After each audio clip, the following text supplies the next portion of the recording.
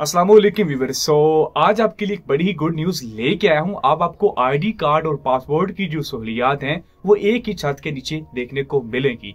Recently PM of Pakistan Shahbaz Sharif साहब ने जो है वो डीजी पासपोर्ट से इस हवाले से आगाह किया था कि अपने काउंटर्स को नादरा के दफ्तर के लिए एक जगह वक्त की जाए कि वहाँ पे एक काउंटर जो है वो पासपोर्ट के हवाले से भी दिया जाए। तो अब उसके हवाले से नोटिफिकेशन भी आ चुका है और इसका इम्प्लीमेंट भी हो चुका है। अब यहाँ पे मैं आपको एक बात बताता चलूँ कि पहले क्या होता था कि लोग पासपोर्ट दफ्तर जाया करते थे, वहाँ पे वो कुछ गलती निकाल देते थे कि यहाँ पे आपका नाम नहीं ठीक है स्पेलिंग गलत है, उर्दू में गलत है, आपकी डेट ऑफ़ बर्थ गलत है तो उसके लिए आपको पहले आईडी कार्ड दफ्तर दादरा दफ्तर जाना था, फिर यहाँ पे जाएँ तो इस तरह आपके चक्कर लगते रहते थे। लेकिन अब क्या होगा कि आपको सेम ही जगह पे दोनों सहूलियात मिल रही हैं। अब क्या होगा? इसका ये मतलब नहीं है कि जी, पासपोर्ट अब नादरा के अंडर आ गए हैं तो अब ये नादरा से सारा काम करेगा। बिल्कुल नहीं है।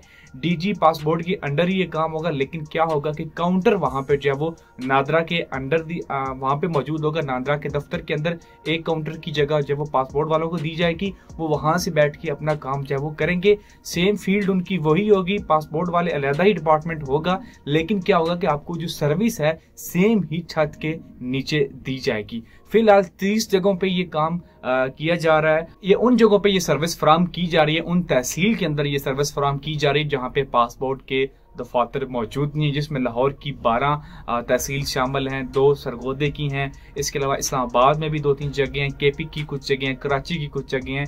तो इस तरह कुल मिला के जो है वो तकरीबन तीस जगहों पे यह सहूलत मैसर की जा रही है और आने वाले दिनों में हो सकता है कि आल ओवर दी पाकिस्तान ये सर्विस आपको फ्राहम की जाए और इसके लिए नादरा जो है वो एक हज़ार रुपये फ़ीस अलहदा से चार्ज करेगा, जो कि आपकी पासपोर्ट के अलावा जो है वो सर्विस फ़ीस होगी, क्योंकि आपको यहाँ पे हर चीज़ एक ही पेज के ऊपर फ्राम की जा रही है, एक ही जगह पे दी जा रही है। तो उसके लिए एडिशनल जो है वो एक हज़ार पे नादरा जो वो सर्विस फ़ीस जो वो चार्ज करेगा। इसके बारे से कोई फर्दर न्यूज़ आती है तो मैं आपको ज़रूर गाइड करूँगा। वीडियो अच्छी लगे तो लाइक करना मत भूलिएगा।